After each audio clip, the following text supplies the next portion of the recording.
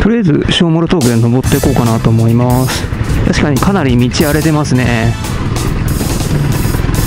陥没してるじゃん。もう道すごい荒れてんな。確かにこれは国道だわ。いろんな意味で。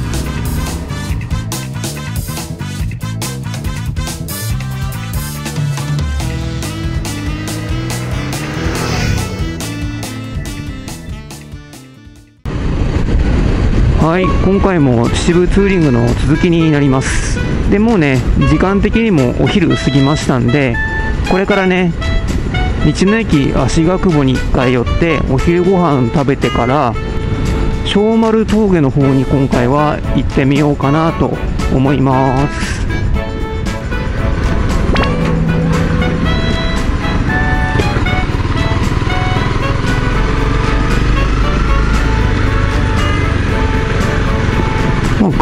も多いけどいつもはねこの辺までバイクいっぱいなんですけど今日は少なめかな？まあそうでもねえか。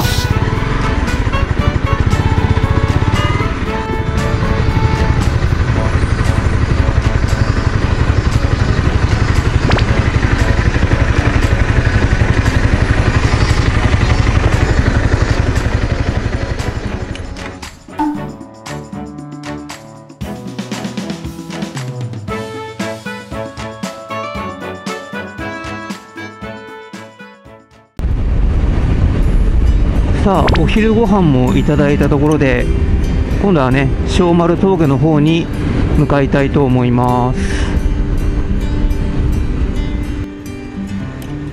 少しだけ小丸峠について解説。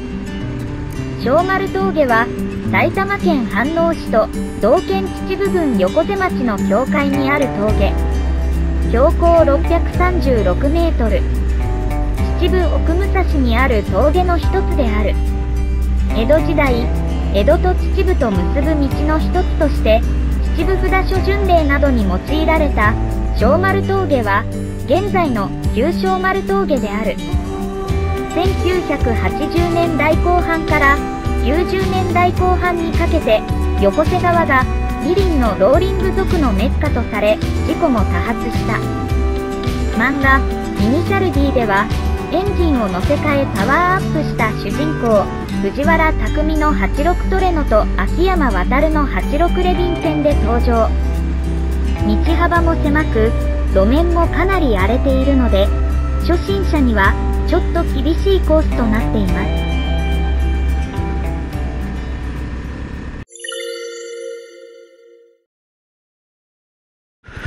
とりあえず小諸峠登っていこうかなと思います。で上にね一応奥村茶屋ってお茶屋さんがあるんでそこを目指して行ってこようと思います。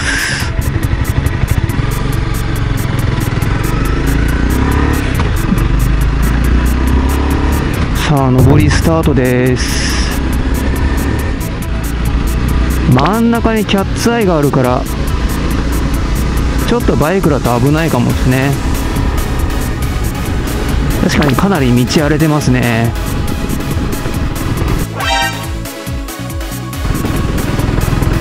陥没してるじゃん。も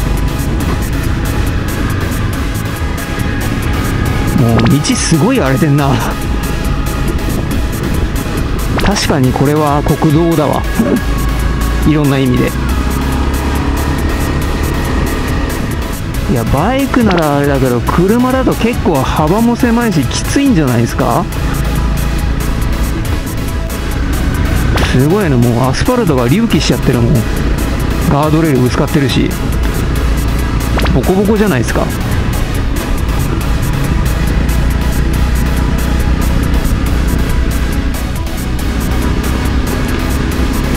これは初心者にはちょっとしんどいかもしれないですねやっぱり。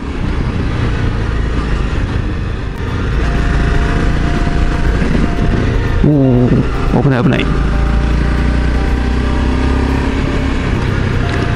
結構ね段差になってるとこがあるんで注意っすね。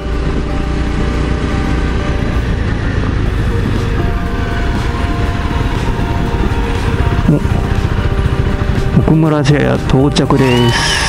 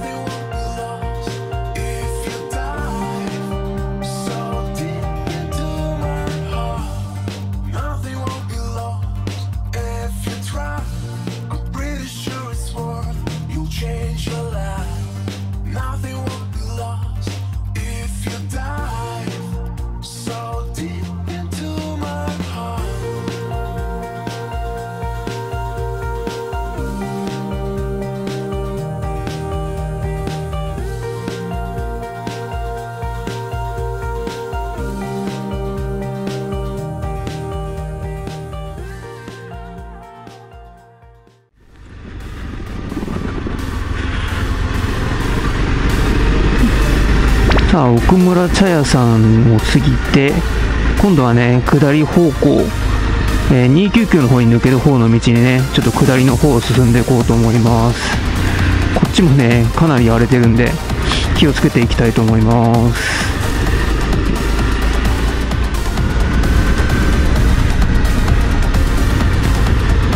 いやすごいね荒れ方が。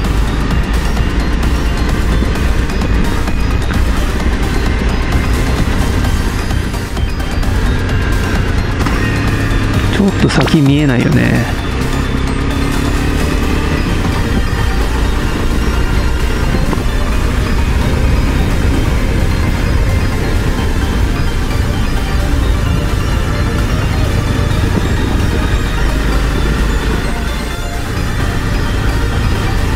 これ溝切ってあるとねバイクは滑りやすいんで気をつけないとですね。この溝切りプラスもう路面がもう段差で荒れてるんでかなりあの慣れてない人は大変かなと思います。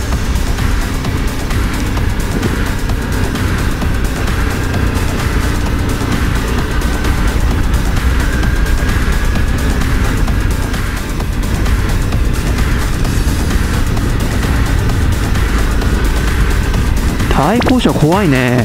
見えないもん。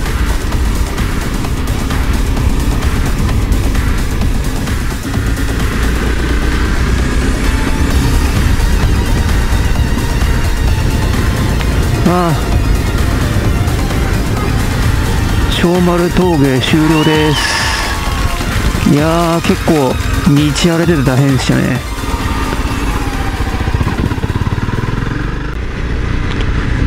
かなりね、路面荒れてて、結構ね、あのブラインドカーブとかも多いんで、あとは路面もね、あの溝が入ってるところとか、路面が濡れてるところとか結構ありますんで、ここね、ちょっとあの初心者向きではないので、結構あの運転慣れてる方、えー、が行った方が、え、いいかなと思います。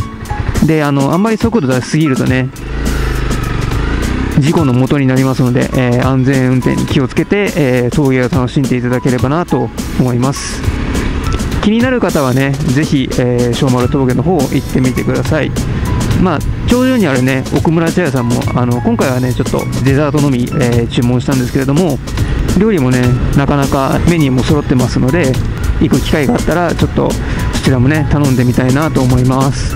興味を持ちましたらね、えー、ぜひぜひ行ってみてください。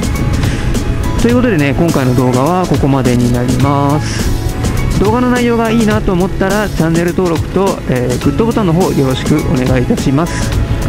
またですね Twitter、Instagram、ブログの方もやっておりますのでこちらのフォローの方もぜひよろしくお願いいたします。